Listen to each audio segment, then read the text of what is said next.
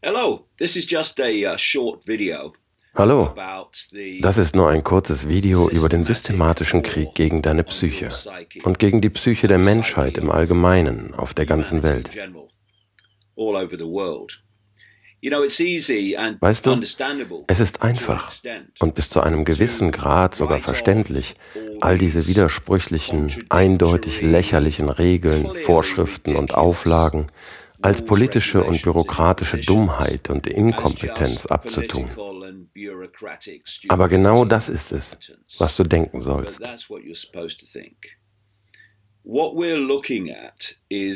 Doch das, was zurzeit an der gesamten Weltbevölkerung angewendet wird, sind systematische Techniken der Nötigung, des Zwangs und der Wahrnehmungsprogrammierung, die seit langer, langer Zeit an Einzelpersonen praktiziert werden.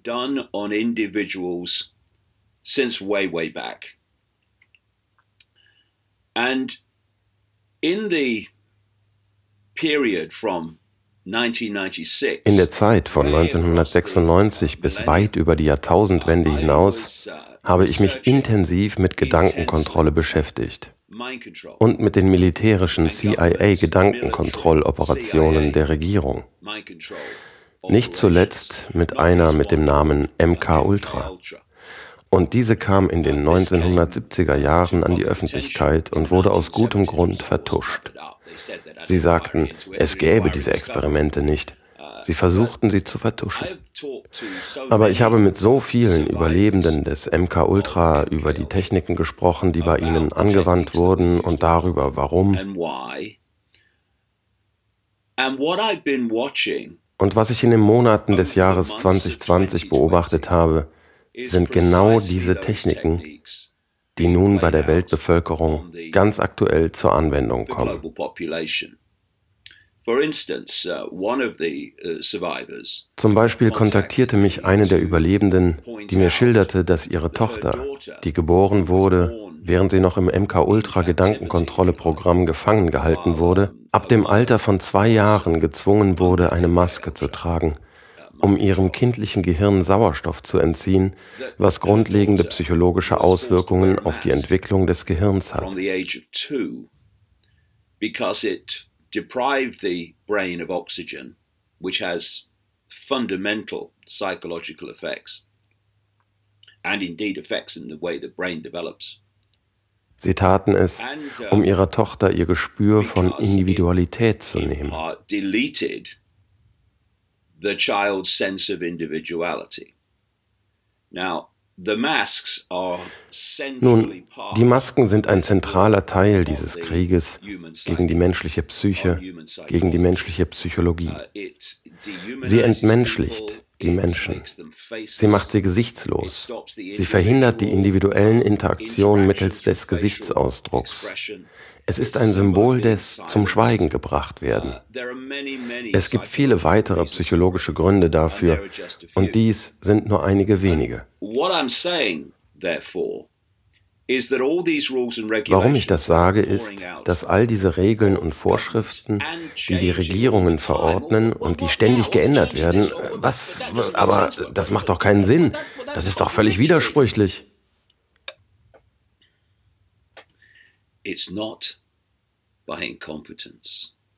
Das ist keine Inkompetenz. Es ist keine politische Dummheit. Es ist ein psychologischer Plan. Deshalb werden diese Regeln und Vorschriften weltweit nicht etwa von Gesundheitsexperten vorangetrieben, sondern von Psychologen. health professionals, questioning as they are in terms of their competence, but by psychologists. The, the woman who was pushing uh, mandatory masks in Britain, uh, a government die Frau, die in Großbritannien für den Maskenzwang sorgte, war keine medizinische Beraterin, sondern eine psychologische Beraterin der Regierung.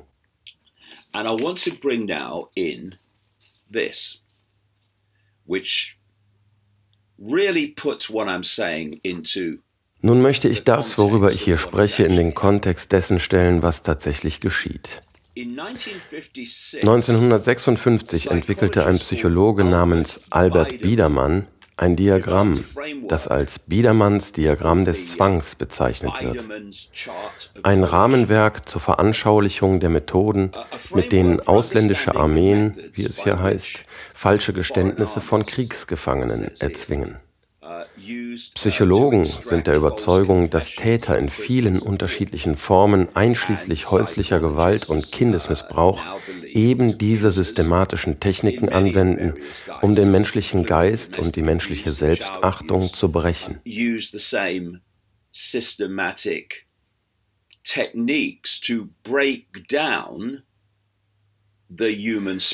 Deshalb ist menschlicher Widerstand eine Zumutung für jeden Täter human resistance to imposition. And um, Dies sind einige Methoden und ich werde auf sie etwas ausführlicher eingehen, nachdem ich sie aufgelistet habe.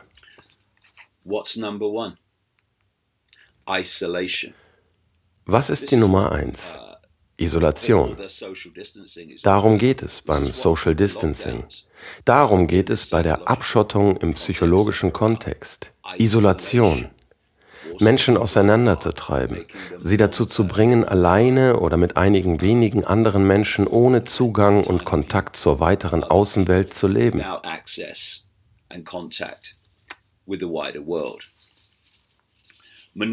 Monopolisierung der Wahrnehmung. Nun, das ist der Grund, warum solche Menschen wie ich überall im Mainstream verboten worden sind, weil wir die offiziellen Darstellungen in Frage stellen. Monopolisierung der Wahrnehmung. Ja, woher kommt unsere Wahrnehmung? Sie kommt von den Informationen, die wir erhalten, aus denen wir dann unsere Erkenntnisse formen. Wer diese Informationen kontrolliert, kontrolliert die Wahrnehmung und unsere Erkenntnisse. So einfach ist das. Bis hier sind es nur zwei Punkte. Und schon diese beschreiben perfekt, was zurzeit weltweit geschieht induzierte Erschöpfung und Entkräftung. Nun, wenn man in Angst und Depression gerät, und wie sollen die Menschen das unter den gegenwärtigen Umständen vermeiden, nach Verlust des Arbeitsplatzes und in ständiger Ungewissheit, was als nächstes passieren wird, wenn jegliches Gefühl von Sicherheit und Stabilität verloren ist? Wenn man in solche emotionalen Zustände gerät, entkräftet und erschöpft man sich. Es erschöpft einen emotional, was sich auf den Körper überträgt, denn das eine ist eigentlich nur das Spiegelbild des anderen. Drohungen. Nun, wir werden die ganze Zeit bedroht. Trage eine Maske, sonst halte Abstand, sonst treffe dich nicht mit mehr als ein paar wenigen Personen, sonst öffne deinen Laden nicht, um dein Geschäft zu retten, sonst Gelegentliche Zugeständnisse. Wenn man die ganze Zeit auf Menschen herumtrampelt, wenn man sich ihnen ständig aufdrängt, ja, und dann gibt man ihnen eine kleine, leichte Belohnung dafür, dass sie tun, was man ihnen sagt. Das ist alles Teil eines Hundetraining-Syndroms, das heute kollektiv auf die Menschheit angewendet wird.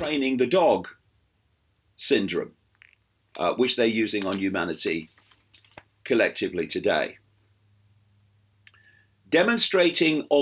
Allmacht demonstrieren.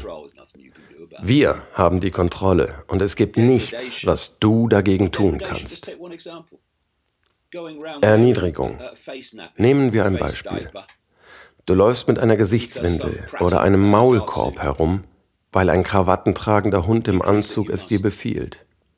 Alles, was du erlebst, eine weitere Erniedrigung. Wo bleibt da noch deine Selbstachtung?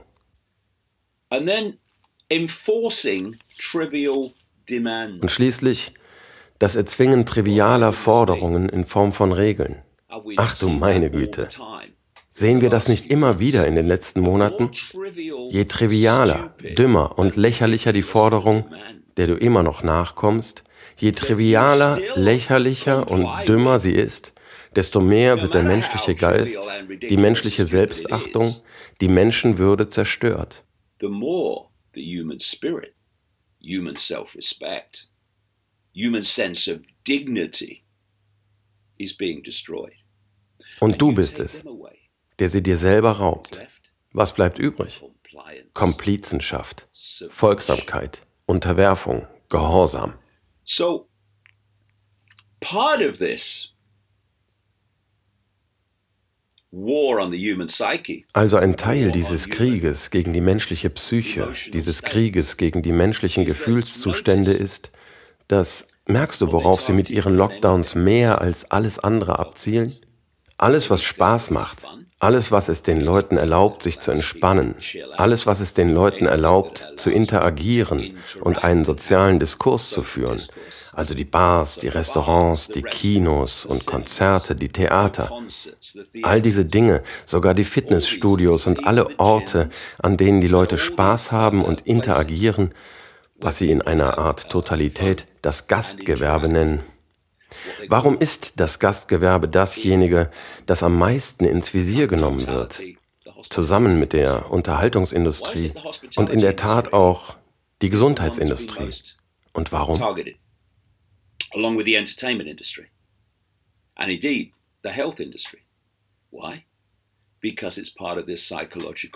Weil diese ein zentraler Teil dieses psychologischen Krieges sind. Während sie dich mit der einen Hand niederschlagen, versperren sie mit der anderen Hand die Tür zur Freiheit. Damit verstärken sie die psychologischen Folgen von Depressionen, den Verlust der Hoffnung, den Verlust jeder Vorstellung, dass das Leben jemals wieder Spaß machen könnte.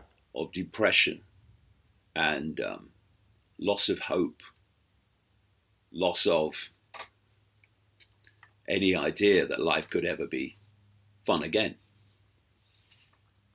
Also, of course, Sport. Und natürlich Sport. Sport nicht nur im Sinne von Unterhaltung, sondern Sport im Sinne von Kindern, die zum Beispiel Spaß am Fußballspielen oder anderen Sportarten haben. Nein, sperre sie weg und lasse sie nicht Fußball spielen. Das macht ihnen doch Spaß. Das macht den Kindern doch Freude. Was soll das? Wir wollen sie doch brechen.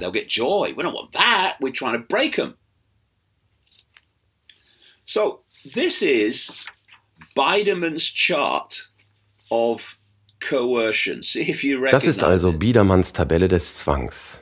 Erkennst du das Muster? Es gibt eine Spalte, die Methode heißt, dann eine andere, die Wirkung und Zweck heißt und dann Varianten über die Wirkung und den Zweck. Gehen wir also ein paar durch. Nummer 1. Isolation entzieht den Opfern jegliche soziale Unterstützung. Hey, denk daran, Biedermanns Diagramm der Nötigungen zeigt, wie man Kriegsgefangene brechen kann. Derart brechen, dass sie unterwürfig werden und tun, was immer sie wollen. Okay? Und das ist es, was sich jetzt in der Bevölkerung abspielt. Also weiter. Isolation beraubt das Opfer jeglicher sozialer Unterstützung ihrer Fähigkeit zum Widerstand. Er zwingt eine intensive Auseinandersetzung des Opfers mit sich selbst und die sich daraus ergebenden Konsequenzen für sich selbst. Das macht das Opfer abhängig vom Täter. Je mehr also die Wirtschaft zerstört wird und unabhängige Lebensgrundlagen zerstört werden durch die tyrannische Autorität, desto mehr wird das Opfer von eben dieser tyrannischen Autorität abhängig gemacht. Vollständige Isolationshaft, vollständige oder teilweise Absonderung, Gruppenisolation.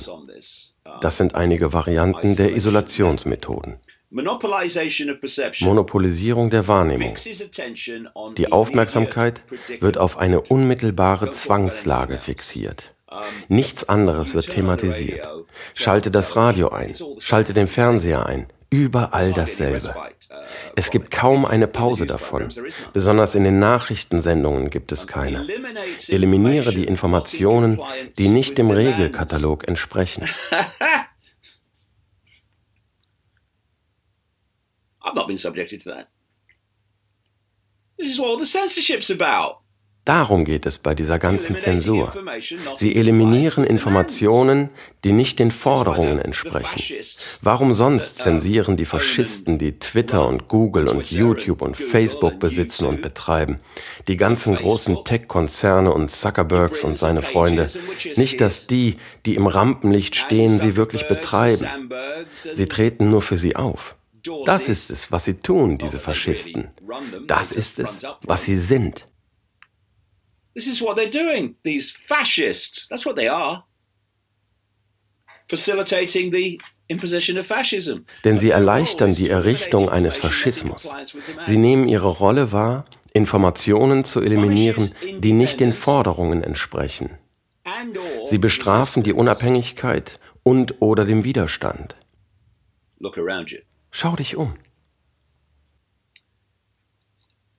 Außerdem gehört zu den Varianten der Monopolisierung der Wahrnehmung die physische Isolation. Du wirst also von jeder Information, die die offizielle Erzählung in Frage stellt, ausgeschlossen. In diesem Sinne ist es wahrnehmungsmäßige Isolation. Du hörst also immer nur eine Sache. Eingeschränkte Bewegung.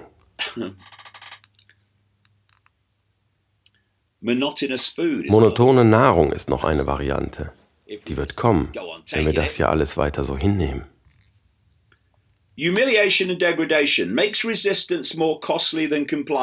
Demütigung und Herabsetzung. Widerstand ist mühsamer als Nachgiebigkeit.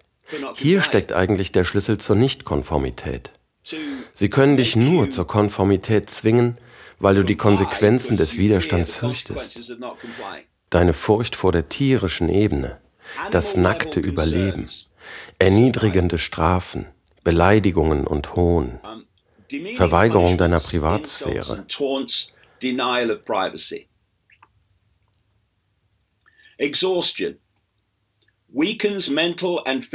Erschöpfung schwächt die geistige und körperliche Widerstandsfähigkeit. Darüber habe ich vor einigen Minuten berichtet.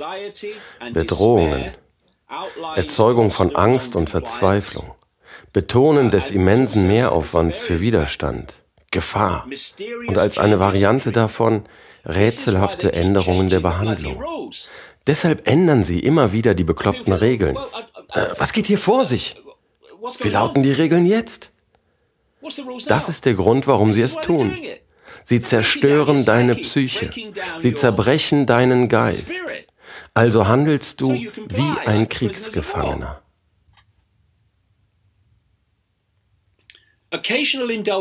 Gelegentliche Nachsicht, positive Motivation zur Kooperation. Dies ist ein weiteres interessantes Beispiel.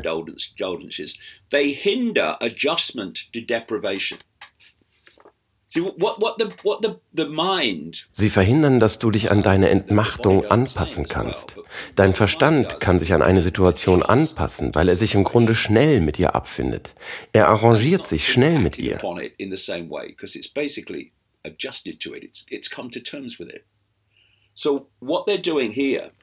Was sie hier also tun ist, also wenn du das tust, wenn wir alle an einem Strang ziehen, dann bekommst du dies vielleicht am Ende. This is to break um, the damit soll der Prozess deiner geistigen Anpassung an die Situation unterbrochen werden, damit du kurz daraus ausbrechen und Hoffnung schöpfen kannst.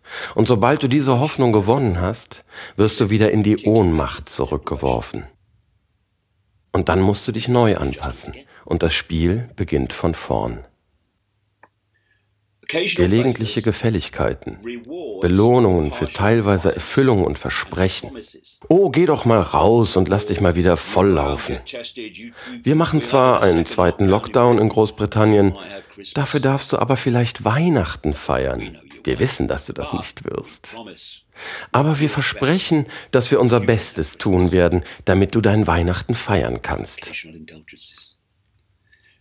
Allmacht demonstrieren suggeriert die Sinnlosigkeit des Widerstandes gegenüber dem Gefangenen. You're under our total control. You're in this prison cell, Mr. Prisoner. Du stehst unter unserer totalen Kontrolle. Du bist in dieser Gefängniszelle, du Gefangener. Und alles, was mit dir geschieht, entscheiden wir. Du kannst dich nicht widersetzen, weil du nirgendwohin fliehen kannst. Und du kannst auch nirgendwo hingehen. Widerstand ist also zwecklos. Und weil Widerstand zwecklos ist, solltest du dich besser fügen. Tu das, was wir dir sagen. Sag uns, was wir wissen wollen. Und es gibt keine andere Möglichkeit, Kumpel. Volle Kontrolle über das Opfer demonstrieren. Showing complete control over victim.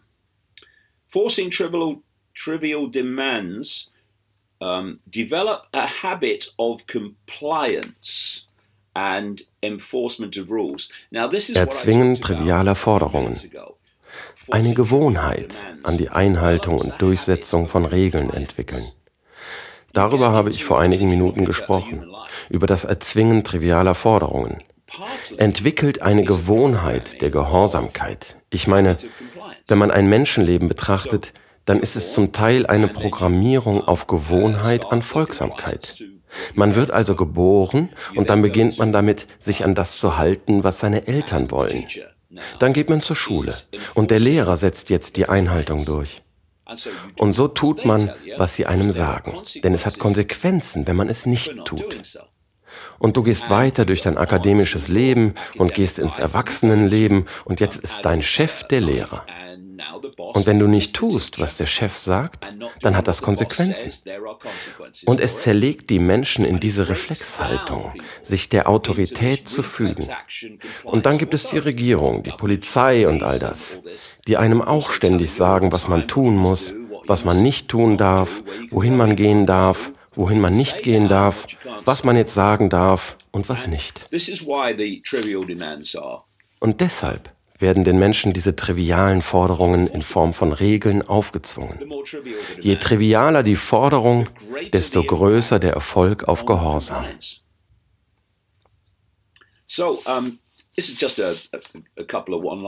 Also das sind nur ein paar oder eigentlich drei oder vier eine Zeile ist aus einer anderen Version von Biedermanns Diagramm des Zwangs. Macht die Opfer abhängig vom Täter. Eliminiert Informationen, die nicht mit der Botschaft des Täters übereinstimmen. Erzeugt Angst in der Verzweiflung. Forderungen sind oft trivial, widersprüchlich und nicht erfüllbar. Ich meine, hallo? bietet eine positive Motivation, sich den Forderungen der Täter anzupassen. Das Opfer gibt alles, um sich kleine Belohnungen in dem Bemühen um Selbstachtung zu verdienen.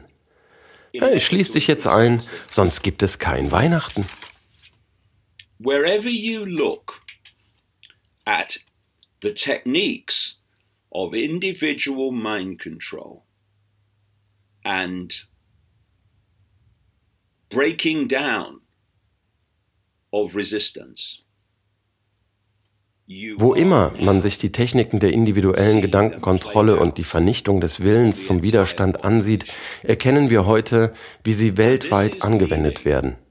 Und dies führt zu einer Situation, in der die Menschen so gefügig gemacht werden, dass sie buchstäblich keinen eigenen Verstand, keine eigene Wahrnehmung und keine eigene Meinung mehr haben. Literally have a mind of their own or a perception of their own or an opinion of their own. And if you think it's bad now, und wenn Sie jetzt denken, dass das, was wir derzeit erleben, schon echt übel ist, wie wird es dann für unsere Kinder, die Enkelkinder sein? Wie geht es dann weiter? Bis zum vollständigen, totalen Zusammenbruch jeglicher Individualität.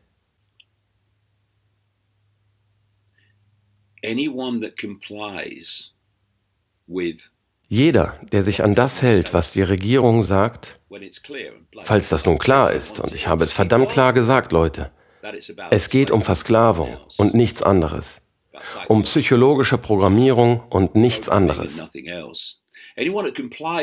Jeder, der konform geht und nicht sagt, nein, das tue ich nicht, baut diesen faschistoiden Staat selbst mit auf oder leistet wenigstens seinen Beitrag dazu, indem auch er und seine Kinder werden leben müssen.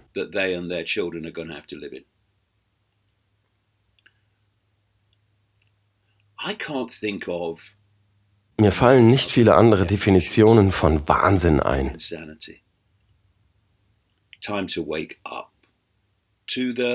Es ist Zeit aufzuwachen, um die Realität zu begreifen, mit der wir es zu tun haben. Eines der größten Probleme, das die Menschen haben, und ich verstehe das, ist die Verweigerung, das Ausmaß des schier Bösen, das hinter all dem steckt, anzuerkennen. Weil sie dieses Böse nie persönlich erfahren haben. Und sie sind verdammt böse. Und viele merken nicht einmal, dass sie es sind. Aber weil sie es in ihrem eigenen Leben bisher nicht selbst erfahren haben, können sie nicht glauben, dass es existiert. Aber es existiert. Und wir stehen jetzt kollektiv auf und sagen Nein. Oder die Konsequenzen für uns selbst, aber noch mehr für unsere Kinder sind absolut undenkbar. Und wenn wir nicht den Mut aufbringen können, für uns selbst einzustehen, dann lasst uns um Himmels willen für sie aufstehen. Let's stand up for them.